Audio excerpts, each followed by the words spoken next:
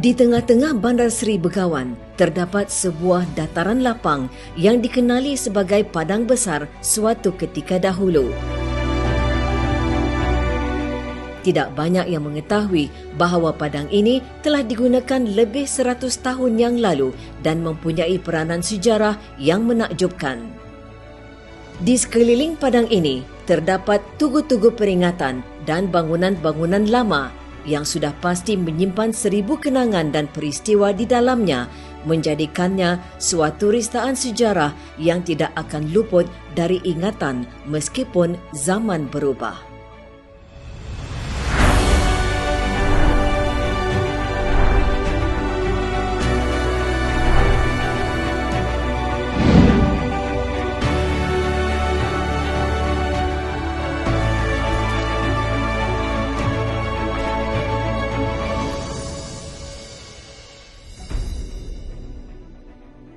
Tahun 1906 merupakan suatu detik yang bersejarah bagi Brunei apabila diperkenalkan dengan satu sistem pentadbiran Inggeris yang menggantikan sistem pentadbiran tradisi yang diamalkan sejak sekian lama dan berpusat di Bandar Brunei. Sehingga kini masih terdapat kesan-kesan peninggalan sejarah yang dikekalkan sebagai bukti kukuh tentang peristiwa yang dialami. Semasa tempoh era pentadbiran Resident British, MacArthur selaku Resident British pertama telah merancang memindahkan pusat pentadbiran Kesultanan Brunei di Kampung Aing-Aing atau yang kemudiannya dikenali sebagai Kampung Air untuk berpindah ke kawasan darat. Beliau mahu pembukaan sebuah bandar baru di satu tempat yang dikenali sebagai Padang yang terletak di belakang Istana Sultan. Jadi mula-mula semua orang berkampung kan tu di di kampung lain kan. Jadi tahun dalam, dalam abad ke-19 kali mulailah um, uh, British datang dan sebagainya apa tu. Jadi apabila kita ni mengadakan perjanjian sama no, kerajaan British untuk untuk menempatkan seorang British resident di Brunei. Uh, jadi datanglah seorang tu tahun 1906 uh, Malcolm MacArthur. Jadi Malcolm MacArthur lah merupakan orang uh, British resident yang pertama. Jadi di antara dasar-dasar awal Malcolm kata ni adalah untuk memindah orang-orang katanya kalau bolehnya dipindah daripada kampung lain ke daratnya. Itu ia punya anu di antara sebabnya anulah ekonomi dan sebagainya apa itu adalah dari kesihatan dah apa macam itulah.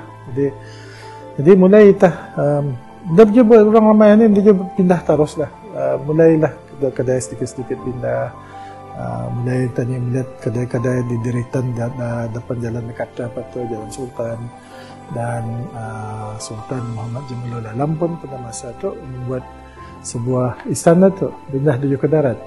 Kalau dulu arah kampung Sultan Lama tu kan kerana tu dipanggil Sultan Lama lah kerana Sultan dulu tinggal di sana.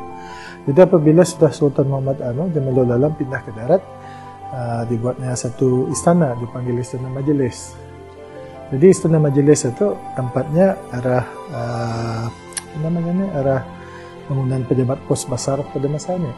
Jadi di sana ke istana majlis itu. Jadi mulai tah kita melihat perkembangan-perkembangan di di kawasan Padang Besar ni kan. Tapi Padang Besar itu dulu dulu pun bukannya dinamakan Padang Besar kerana ya kawasan sering sungai kan. Sungai ini lumpur apa. Jadi macam dulu-dulu macam tempat luayan luayan anu benda luayan kerabau benda. Ya, luayan kerabau tu sana tah kerabau sana tah bukan jauh padang bukan jauh apa tempat lapang. Tapi anda tahu macam mana dulu tu indah pulang ada kena aturkan untuk membuat rumah di sana. Barangkali perancangan barangkali daripada awal lah perancangan diadakan satu tempat orang kawasan lapang untuk orang ramai berbudak Allah alam dah tahu je. Jangan saja ada satu kajian lagi. Jadi jadi pembangunan itu di, di siring-siring itu takanya, siring-siring kawasan bandara itu. Seorang jurutera British yang berkhidmat dengan kilang ubar di Bandar Brunei banyak menceritakan tentang kehidupan masyarakat Brunei pada awal abad ke-20. Dalam buku beliau yang bertajuk City of Many Waters yang diterbitkan pada tahun 1923, beliau mencatatkan bahawa di belakang kawasan istana di Bandar Brunei terdapat satu kawasan dataran terbuka yang dipanggil Padang oleh penduduk tempatan. masa zaman ano kalau bis kita melihat gambar-gambar masa perang dunia tahun 40-an apabila tentera ano uh, apa namanya ni tentera udara Amerika jadi Allied Forces ini apabila Jepun berada di Brunei jadi Allied Forces ini datang untuk menyerang Jepun-Jepun ini jadi nampak di dalam serangan itu dia menggambar dari udara kan tentera udara Amerika ini kita nampak gambar-gambar itu menjadikan sudah ada bah pedang itu bah tahun 40-an itu sudah ada ada artinya jadi kalau di, diikutkan tadi pindah ke darat mulai 1906, 40-an sudah ada pedang itu. Artinya dalam 30 tahun itu dah bergerak pedang itu. Hanya selepas Perang Dunia Kedua, peranan padang ini mula berubah. Rumah-rumah dan bangunan-bangunan kerajaan pun mula dibina di bawah Plan Kemajuan Negara tahun pertama yang sebelah-sebelah kujung yang berdepanan sama Masjid Sultan Umar Ali, Masjid Umar Ali Saifuddin, itu jadian itu uh, uh, police station. Jadi balai polis di depan Masjid Sultan Umar Ali itu bukan saya balai bukan saya stesen ya, termasuklah segala balik bariknya apa semua dalam itu. Jadi orang tinggal pun sebelah itu. Padang itu masih ada, tapi sebelah kemari itu yang pada masanya kita dipakai untuk menaikkan bendera besar, uh, sama anulah nuruh kereta apa. Di sana tah police station ini. Sebelum wujudnya Masjid Omar Ali Saifuddin, terdapat sebuah masjid kajang di Bandar Brunei. Oleh kerana kapasiti Masjid Kajang Terhan, padang yang dilabel sebagai dataran terbuka dimanfaatkan untuk acara perhimpunan besar-besaran. Salah satunya ketika menyaksikan keberangkatan Duli Yang Maha Mulia Maulana Al-Sultan Haji Omar Ali Saifuddin Sa'dul Khairiwaddin menunaikan solat sunat Hari Raya Aidilfitri bersama rakyat baginda. Pada tahun 1950-an dan 1960-an, dataran terbuka ini mula digunakan secara rasmi dan menjadi tumpuan rakyat dan penduduk negeri Brunei ketika mereka mengadakan apa yang dipanggil sebagai hari besar atau big day.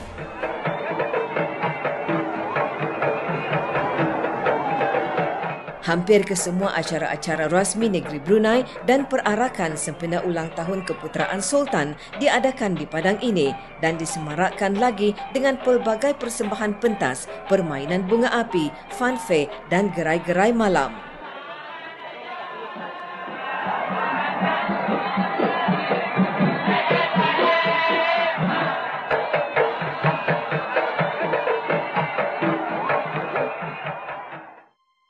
Legasi Padang Besar turut menggamit momen indah saat menyaksikan kemesraan ke bawah duli yang maha mulia Paduka Seri Baginda Sultan Haji Hasanal Bolkiah Muizzaddin Wad Daulah dengan Paduka Ayahanda Baginda dalam acara sukan kegemaran iaitu perlawanan tarik kalat dan bola sepak.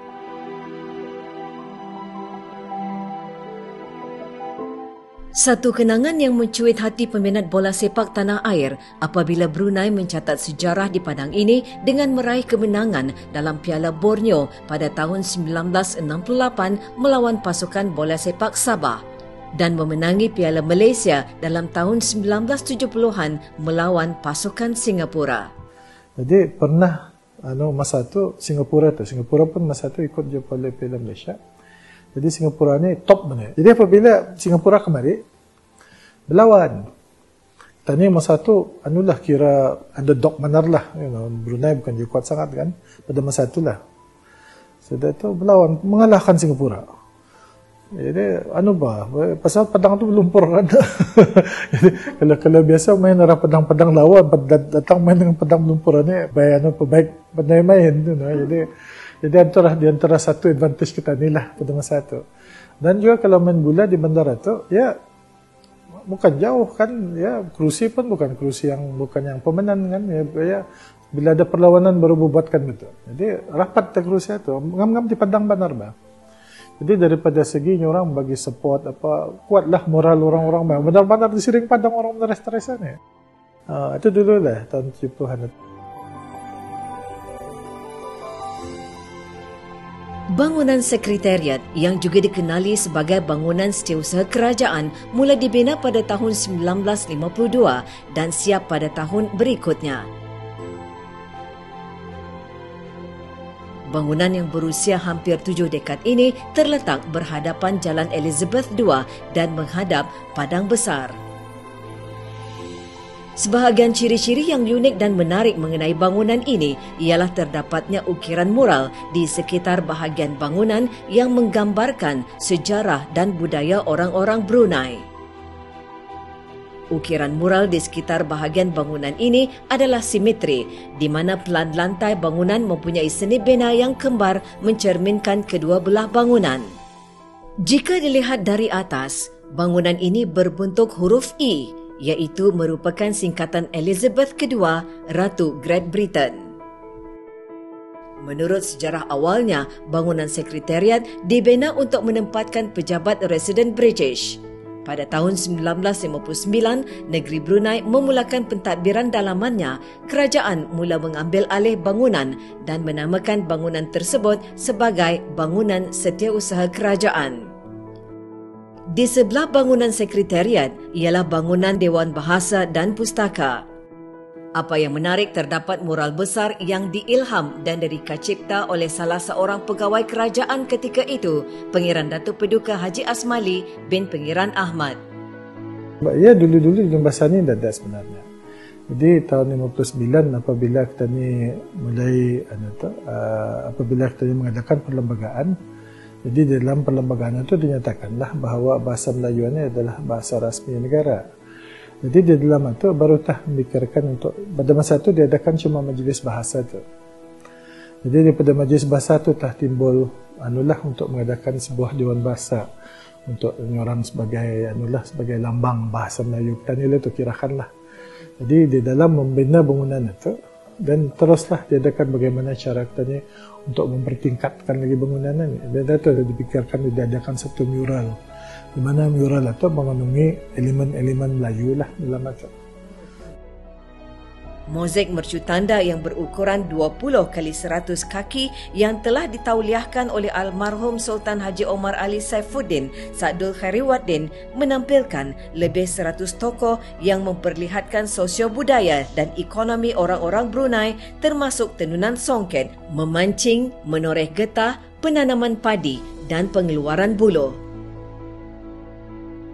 Slogan berbahasa satu, berbangsa satu dan bernegara satu adalah teras kepada keseluruhan gambaran dan tafsiran tentang maksud nasionalisme dan patriotisme. Mural ini direka pada tahun 1963 dan idea Melayu Islam beraja secara tidak sedar telah dimasukkan ke dalam reka bentuknya.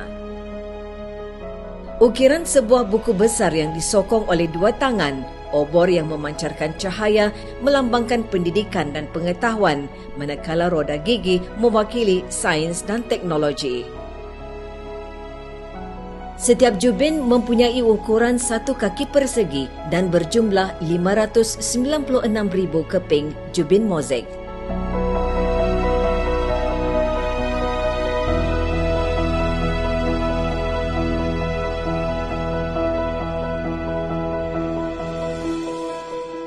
Masjid Omar Ali Saifuddin dibina pada 4 Februari 1954 atas hasrat dan cita-cita ke bawah duli yang maha mulia Maulana Al-Sultan Haji Omar Ali Saifuddin Sadul Khairiwaddin. Baginda telah mengangkat martabat agama Islam ke tempat yang tinggi dan menjadikan agama Islam sebagai agama rasmi negeri Brunei. Masjid ini dibuka rasmi oleh Kebawah Duli Yang Maha Mulia Maulana Al-Sultan Haji Omar Ali Saifuddin Sadul Khariwaddin Sultan Brunei ke-28 pada hari Jumaat 26 September 1958.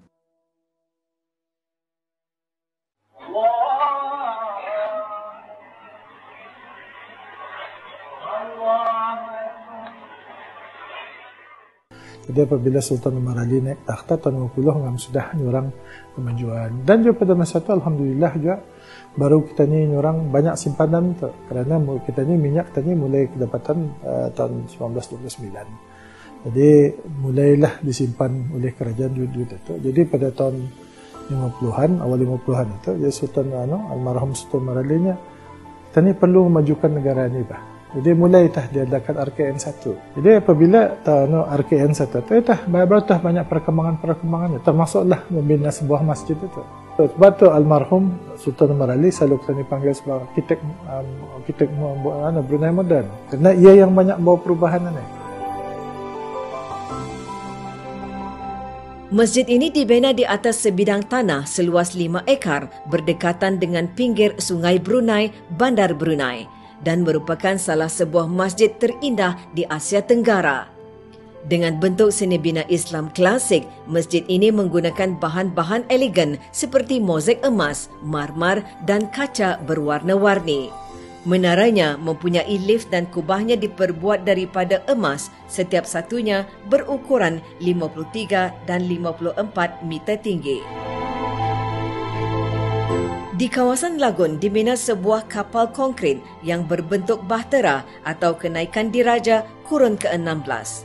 Replika bahtera ini dibina bersempena memperingati ke 1400 tahun nuzul Al-Quran dan ketika itu sering digunakan untuk pertandingan musabakah Al-Quran.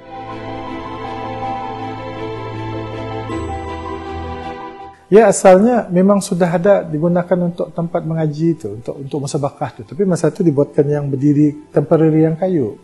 Jadi apabila apabila sudah diorang buatkan yang bahtera batu, itu yang kayu kena buka lah. Jadi tapi di sana tah orang mengaji. Jadi orang bertinggi antara arah arah arah tangga-tangga masjid itu untuk mendengar orang mengaji ini.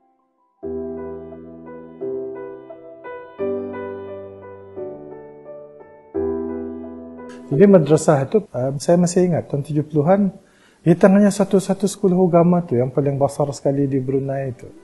Jadi madrasah itu pagi patang tu, pagi patang boleh sekolah agama. Jadi pada masa itu um, kami yang kebanyakannya di di kawasan-kawasan yang di luar bandara ni uh, yang ada cuma sekolah agama sorry, sebelah patang. Jadi apabila kadang kan dulu daripada darjah satu sampai darjah empat skim Melayu tu. Jadi apabila dari darjah empat naik ke prep satu. Prep satu ni kira baru tahap belajar bahasa Inggeris lah. Jadi prep satu sampai prep tiga ni kebanyakannya sekolah di di, di sebelah Patang. Jadi tidak terdapat sekolah agama. Jadi kalau kan sekolah agama terpaksa tak ke madrasah. Eh, madrasah yang hanya yang ada pagi. Jadi madrasah tu macam open air tu. Bukannya berdinding tu. Macam diwan gitu bah. Jadi apa bila dindingnya dinding kayu ni. Kita kalau ngarang tu anak-anak kalau kalau belajar bahan, belajar-belajar dulu tu. Jadi madrasah tu was used as a school. Uh, sampai one point madrasah tu terlampau penuh. Pasal kami kena pindah ke masjid. Jadi sebahagian daripada sekolah agama saya di masjid, di Masjid Umar Ali, tapi di di tingkat atas. Kalau kita naik ke Masjid Umar Ali pada masa ini, kalau kita melihat dari atas itu ada macam balkoni, itu di sana tu kelas tu. Madrasah tu sudah terlampau penuh sampai paksa pindah ke sana. Pintu gerbang sempena istiadat perpuspaan ke bawah duli yang maha mulia Paduka Seri Baginda Sultan Haji Hassan Al-Bolkiah Muizzaddin Wad Daulah, Sultan dan Yang di-Pertuan Negara Brunei Darussalam yang ke-29 pada 1 Ogos 1968 telah disembahkan oleh Yang Dimuliakan Pihin Orang Kaya di Gadong, Datuk Seri Setia Awang Haji Muhammad Yusof. Pada asalnya, pintu gerbang ini didirikan di kawasan Kampung Sultan Lama tetapi telah dipindahkan ke sebelah dalam sedikit setelah bangunan Yayasan Sultan Haji Hassan Al-Bolkiah dibina pada bulan Oktober 1993.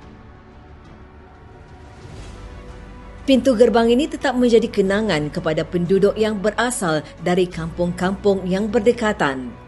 Apa tidaknya, gerbang ini sering menjadi tumpuan anak-anak yang dihantar dan dijemput balik daripada sekolah dan dijadikan sebagai tempat pertemuan atau checkpoint menurunkan dan menjemput saudara mara yang datang dari luar bandar untuk menziarahi keluarga mereka yang tinggal di perkampungan berkenaan. Kini, nama kampung-kampung tersebut dijadikan sebagai ristaan sejarah apabila penduduknya berpindah ke darat selepas kebakaran besar berlaku pada tahun 1981.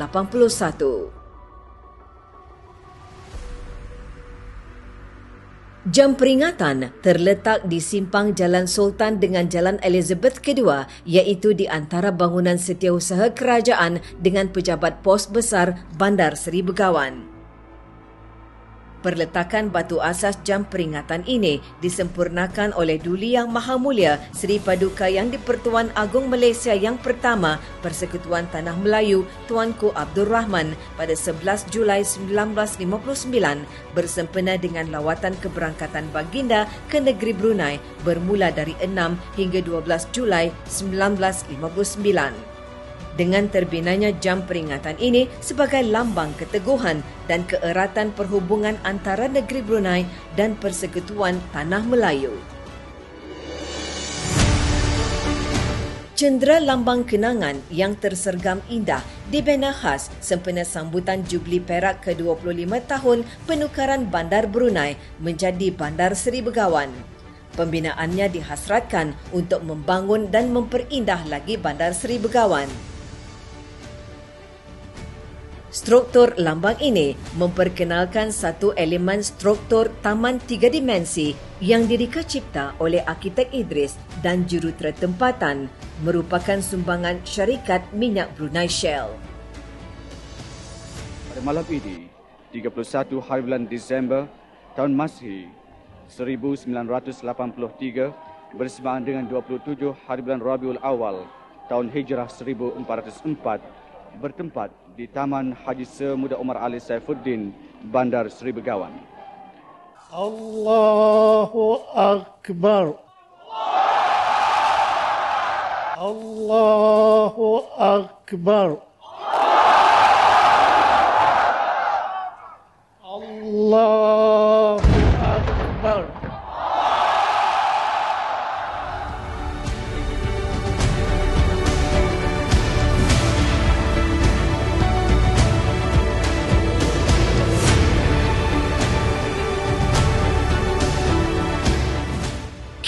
Padang Besar telah diubah suai dan diperindahkan dan ditukar nama menjadi Taman Haji Semuda Omar Ali Saifuddin dan masih kekal digunakan untuk acara-acara kenegaraan.